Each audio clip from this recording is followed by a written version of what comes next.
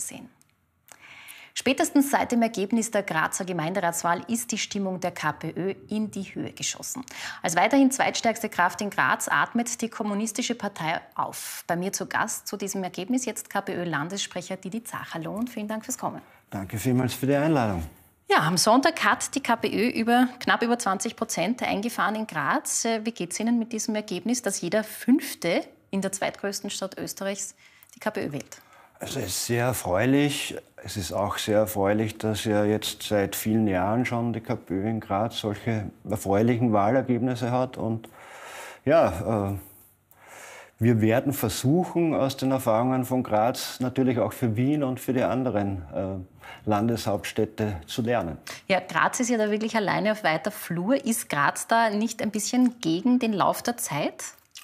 Naja, äh, wir haben kommunal, also in Linz haben wir auch eine Gemeinderätin, in Krems haben wir bei der letzten Gemeinderatswahl sieben Prozent erreicht.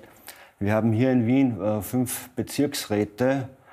Also ein bisschen was geht schon, aber natürlich sind wir weit weg von 20 Prozent.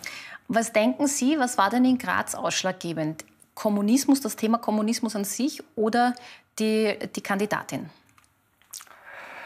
Also ich glaube, äh Wichtig ist die tolle Arbeit von der LKK und auch schon davor die tolle Arbeit, die der Ernest Kaltenecker geleistet hat. Aber gute, engagierte Leute in der KPÖ findet man auch in anderen äh, Orten und Bereichen. Ähm, ich glaube, was wichtig ist, in Graz war ja die KPÖ seit 1945 immer im Gemeinderat vertreten, was auch damit zu tun hat, dass man in Graz schon mit knapp zwei Prozent im Gemeinderat ist. Mhm. In Wien braucht man ja bekanntlich sensationelle 5 Prozent.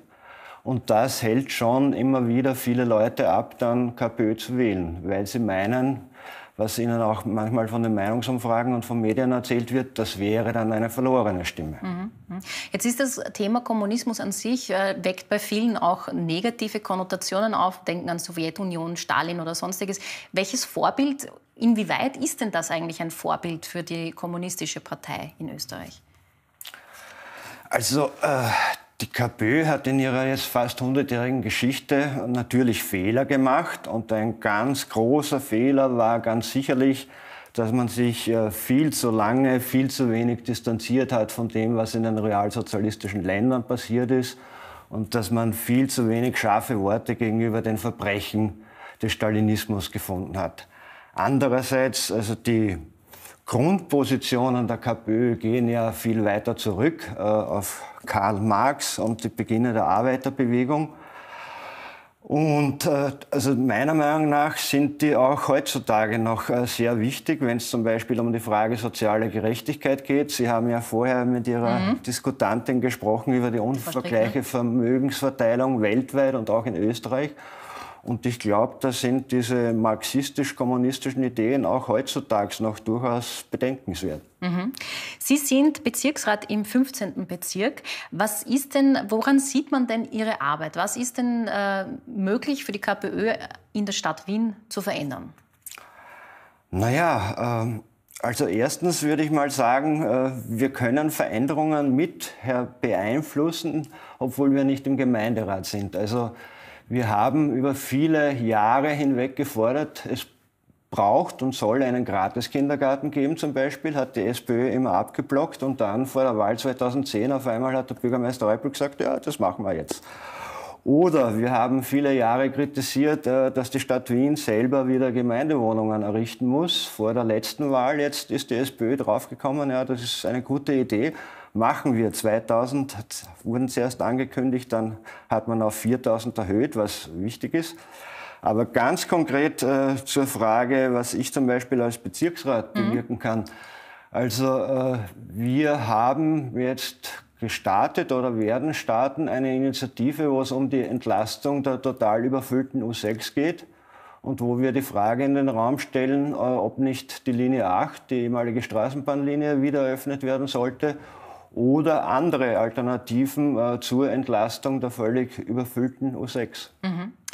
Jetzt ist bei der vergangenen Gemeinderatswahl in Wien die KPÖ als eigenständige Partei ja gar nicht mehr angetreten, sondern als Konglomerat mit, unter Wien anders. Ja. Äh, was bedeutet das eigentlich für die KPÖ? Ist das ein Scheitern oder ist das zukunftsträchtig? Nein, also wir sind seit vielen Jahrzehnten offen für Allianzen und für Zusammenarbeit äh, mit anderen. Und das haben wir auch 2015 bei der Gemeinderatswahl in Wien gemacht und 2014 bei der EU-Wahl mit Europa anders, wo Martin Ehrenhauser der Spitzenkandidat war. Äh, wie gesagt, Meiner Meinung nach ist ein großes Problem in Wien diese 5-Prozent-Hürde. Hätte Wien wirklich ein demokratisches Wahlrecht, es gibt 100 Gemeinderatssitze, dann müsste man mit einem Prozent ein Mandat haben. Aber ja, die Verfassung, die Stadtverfassung ist so, wie sie ist und die hat die SPÖ natürlich auch so gezimmert, damit sie ihre Macht erhalten kann. Mhm. Was denken Sie, wie es weitergeht mit der KPÖ? Ich sage mal, Themen gibt es genug. Globalisierung, Finanzkrise, Freihandelsabkommen. Wo, wo positioniert sich oder wie kann sich die KPÖ hier ja, besser positionieren, sage ich mal? Also ich möchte die Message quasi hier an den Zuschauer, Zuschauerinnen aussenden.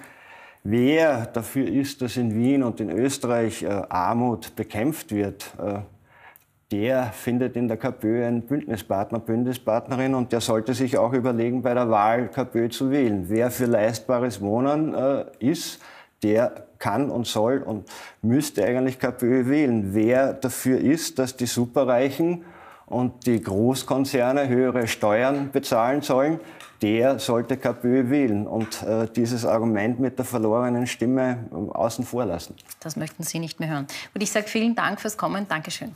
Danke vielmals.